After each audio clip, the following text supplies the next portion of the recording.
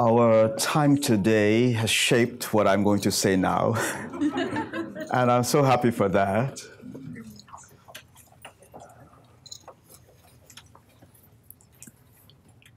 I am so deeply grateful to have experienced the layers of wisdom that you carry your individual dispositions of what you are bringing to the world, but in this collective intention to witness each other's agreement to be women at a time in the age when the greatest opportunity for our planet is the wisdom itself that's here, not the knowledge alone. And I, I, I, just in the feeling and interaction, I want to speak about this Sophia consciousness.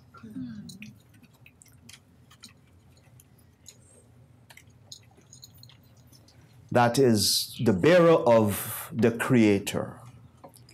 Some years ago, in working with um, one of my mentors by the name of Georg Kühlewind, he was a phenomenologist, an anthroposophist, and he had introduced the idea of meditative observation.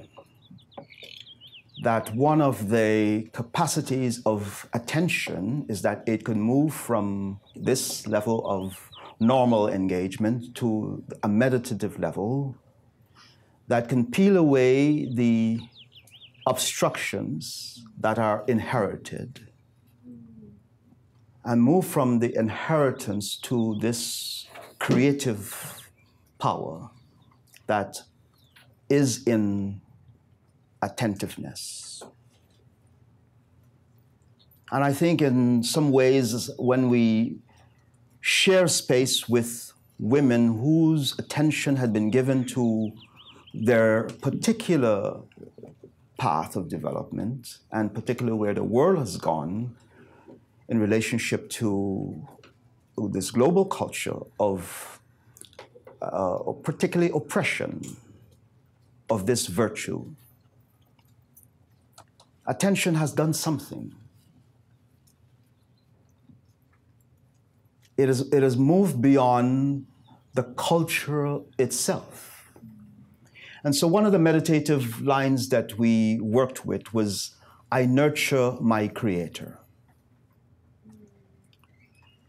I nurture my Creator and take it into contemplation. What does it mean to nurture that which will create you?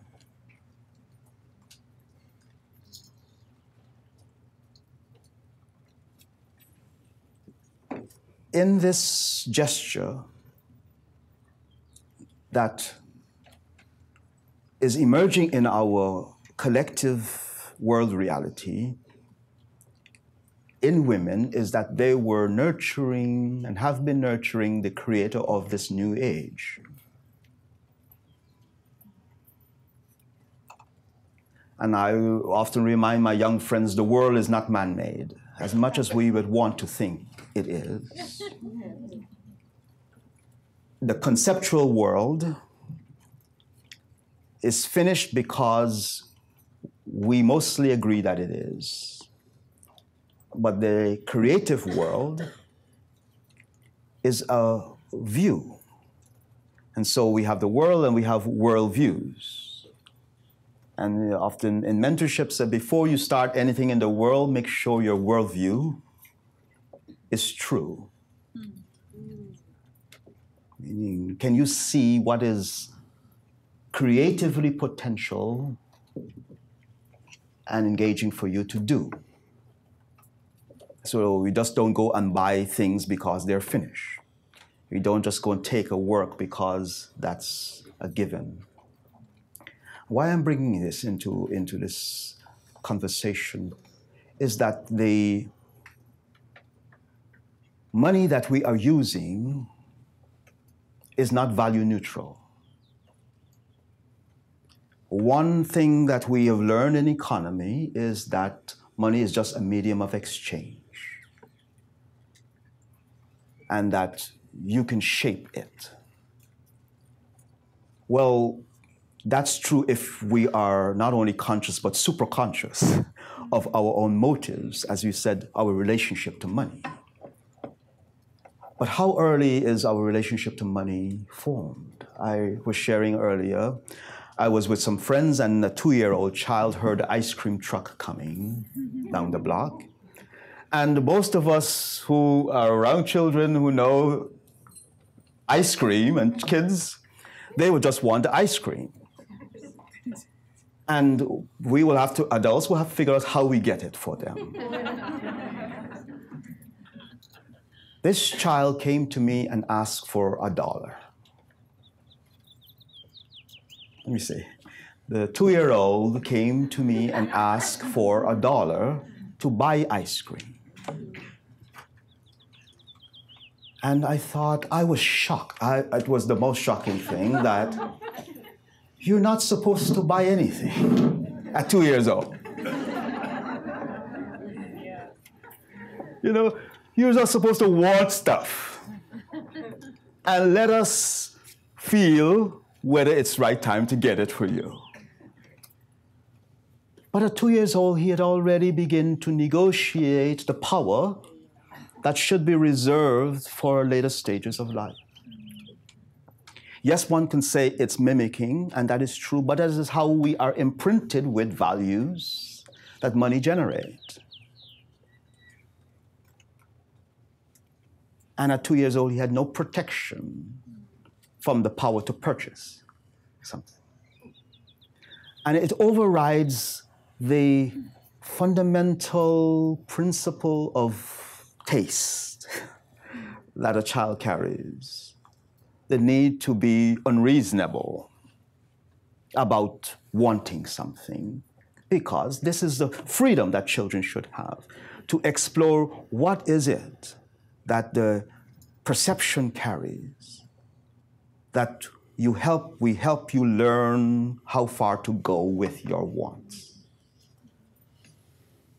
but to want a dollar for me in which if he can't understand the significance of not having a dollar at two years old, by five, seven, ten, what can he think of doing to get a dollar?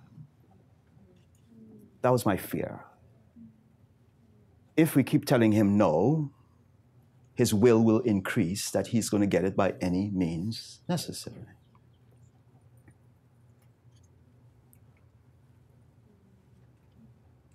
because the purchasing power is overriding the fundamental predisposition to ask a parent for something to eat.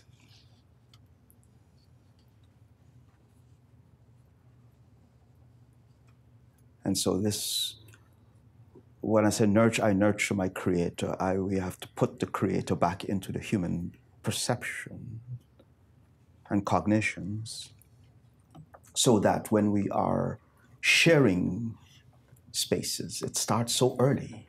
How we think and relate to money. And why I said it's not value neutral,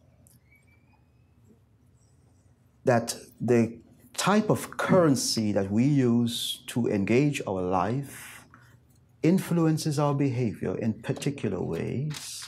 One, because the dollar has to be scarce in order to be valuable.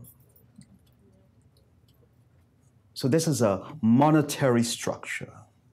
It doesn't matter how much we have, the design of the dollar and the euro and most national currencies is that they have to be scarce in order to create the economy that they're to serve.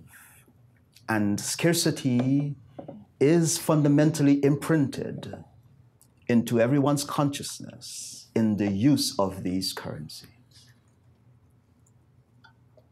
We then have to supplement it, and most of us have been sharing the many ways of how we've had to supplement our own consciousness to override the behavioral characteristics in our currencies by doing something more with consciousness. by observing our behaviors and attitudes and choices and influencing them in certain ways to get out of the predictable pattern that money generates when we use it in the unconscious attitudes. And uh, in working with currency design principles, we learned that some currencies are feminine and some are masculine in their design based on the articulating idea of what the currency is intended to do. And so you cannot create a currency if we don't create the archetypal image that it's to get people's behavior to become group oriented in a way in which they produce the economy that the creators of the currency design it to do. And so one must ask this fundamental question in our democracy.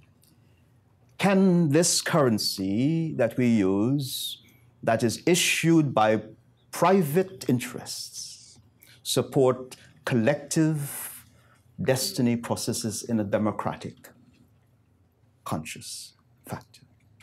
Meaning, do, does our role in society truly honored if what we need to create society is scarce?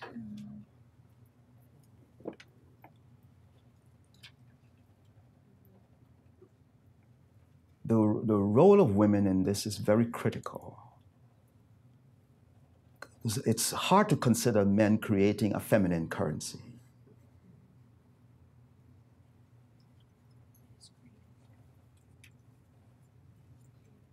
Then the next step in our futures of money have to consider what must be nurtured to protect not just people, planet as well because there are currencies that actually prohibit the misuse of these forces of nature. In ancient times, I learned from, from our, uh, our elders in, in, in South Africa that the gold mine and the diamond mines and all the mineral wealth belonged to women.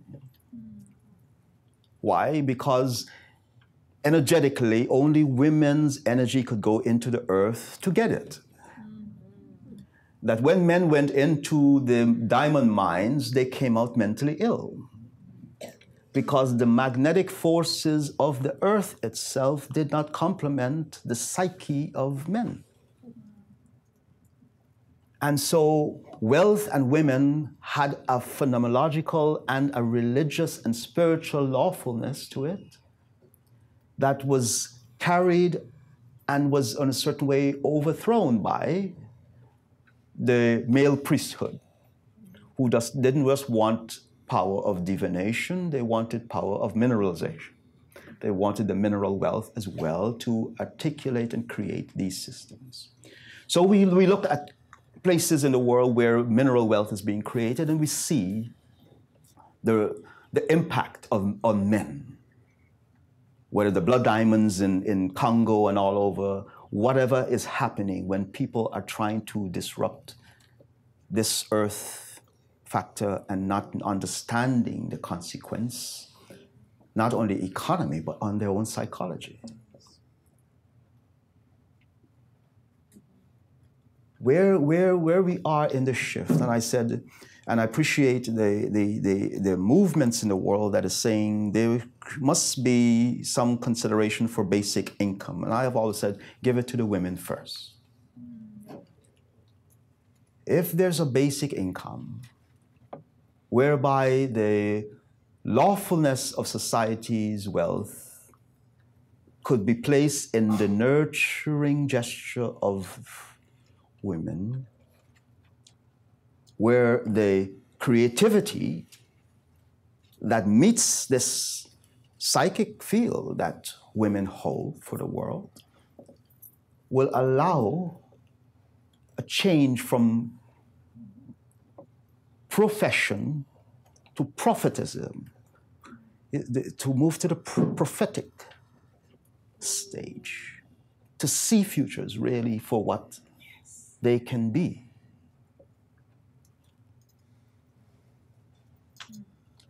It's already it's already in a way what these elder women, as I shared this morning, was trying to remind me and share with me and teach me that we see something and we hope to invest it in you to talk about it, share it, and nurture it.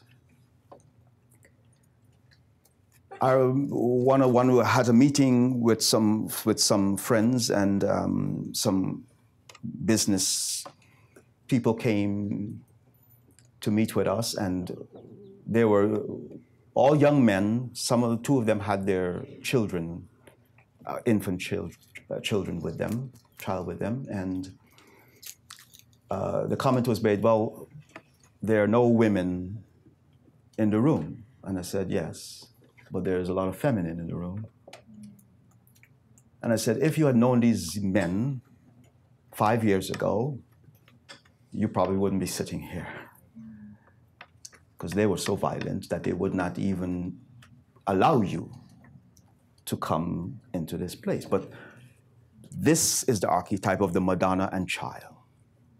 There's a man holding his child. He would have been in jail, in prison somewhere but he had to be nurtured back to allow his own feminine power to hold his child,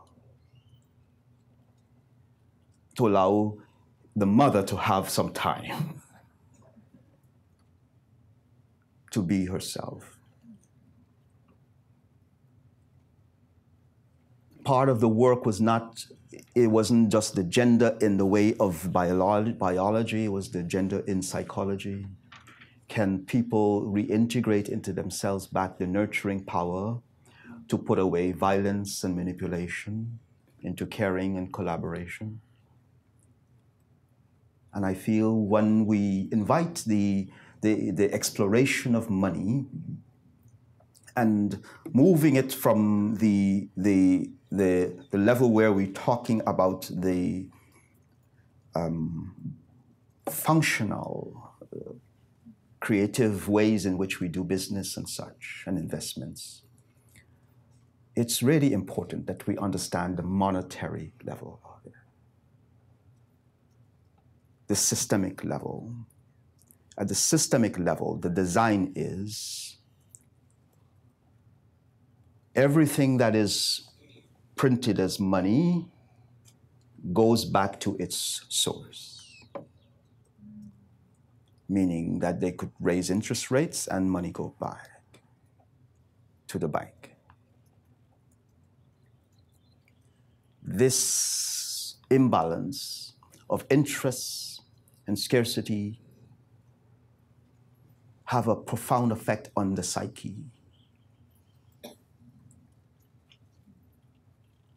And uh, you, you, have you heard about the 11th round? You know that, that idea that if the bank gives you $10, they tell you to bring back 11. And if the 11th one is never printed. So, in order for people to bring back interest, someone has to fail. Someone has to be poor.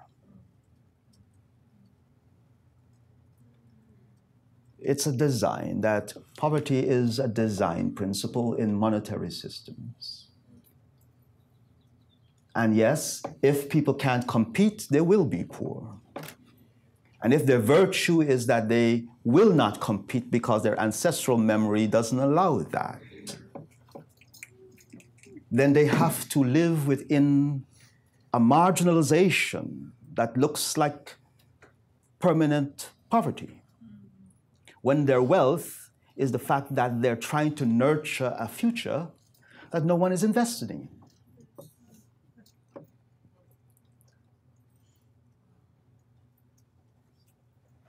So part of coming back, I say, part of coming back to the to the understanding of indigenosity is that in every human being is the sensitivity forces to be able to say, I am here, and from here, I could see futures. And I can find the people with whom those futures belong and co create with them. by making the agreements, even in the absence of money, to begin to show that future that then money can come with people who trust that gesture of vision. And so these we say visioning processes are happening all over the world in indigenous communities everywhere. And yes, microfinancing is helping some of them. But the complexity of American society, Western society as a whole, is that microfinancing is not enough. Because it's not the individual that one must help, one must help the group. Meaning it's the group of women whose work matters the collective consciousness and wisdom of women is what the next phase of investment should be considering because it has something in it, the collective impulse, that has benefited from the enforced scarcity that the patriarchal world economy has placed in women. And it may look like having nothing or less. But this is what the mystery of this idea, I nurture my creator, is. The reversing of the will, when there's nothing, there is something. Spirit does not allow people not to have. There is no such principle in spiritual understanding.